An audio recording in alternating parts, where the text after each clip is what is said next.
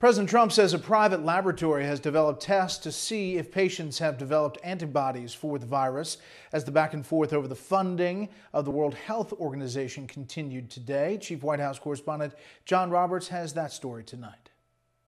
President Trump and his team today standing by his decision to cut funding to the World Health Organization for 60 to 90 days.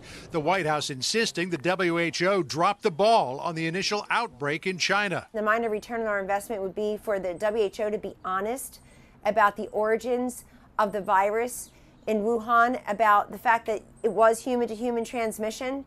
Uh, they lied about that or weren't transparent about that. The head of the WHO critical of the decision. This is a time for all of us to be united in our common struggle against a common threat a dangerous enemy. The move also drawing fire from Democrats. In a statement, House Speaker Nancy Pelosi saying, This is another case, as I have said, of the president's ineffective response that a weak person, a poor leader, takes no responsibility. A weak person blames others. This decision is dangerous, illegal, and will be swiftly challenged.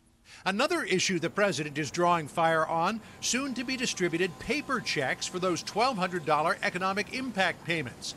When they start going out next week, the checks will have the president's name in the memo section.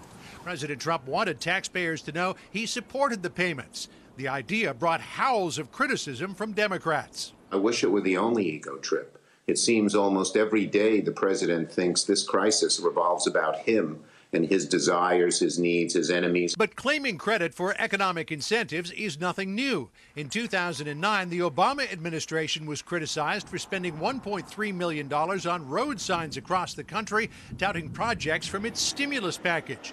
And in 2001, the Bush administration sent out letters to people about to receive tax rebates, letters that were derided as a campaign commercial. Today, President Trump was gathering wool on ideas to reopen government, speaking with dozens of members of his Great American Economic Revival groups in different sectors of the economy.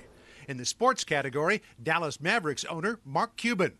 I think the biggest mistake we can make is rush to a decision but I'm going to help them in every way I can. The Centers for Disease Control and FEMA are also drafting proposals for reopening. In a draft version confirmed by Fox News, the agencies recommend coming out of mitigation in a controlled way with robust monitoring systems in place to contain new cases and outbreaks, and adding that leaders at all levels will need to prepare communities for occasionally returning to stricter mitigation members for brief periods as needed to continue containing the disease.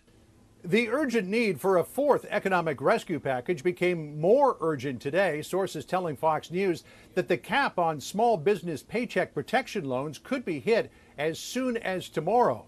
And a plan to re up that fund is currently stalled in Congress. Bret?